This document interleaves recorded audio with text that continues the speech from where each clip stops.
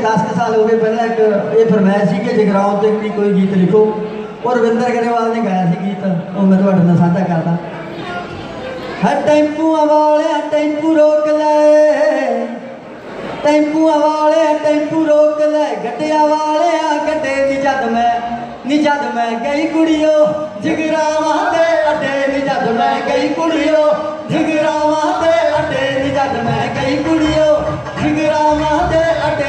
ਅੱਡੇ ਨੀ ਮੈਂ ਗਈ ਕੁੜੀਓ, ਹੈ ਜੂਸ ਵਾਲਾ ਇੱਕ ਮੈਨੂੰ ਕਹਿੰਦਾ ਸੋਹਣਿਆ ਜੂਸ ਪਿਆਵਾ।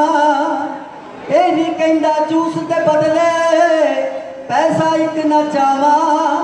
ਮਰ ਜਾਣੀ ਦਾ ਮੇਰੇ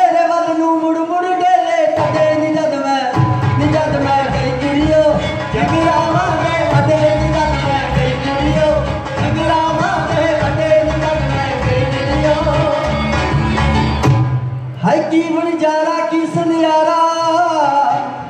ਮਗਰ ਮਗਰ ਮੇਰੇ ਆਇਆ, ਕਈਆਂ ਹੱਥ ਵਿੱਚ ਮੁੰਦੀਆਂ ਫੜੀਆਂ। ਨਿਸ਼ੱਲਾ ਕੋਈ ਆਇਆ, ਭੋਰਿਆਂ ਨੂੰ ਪਾ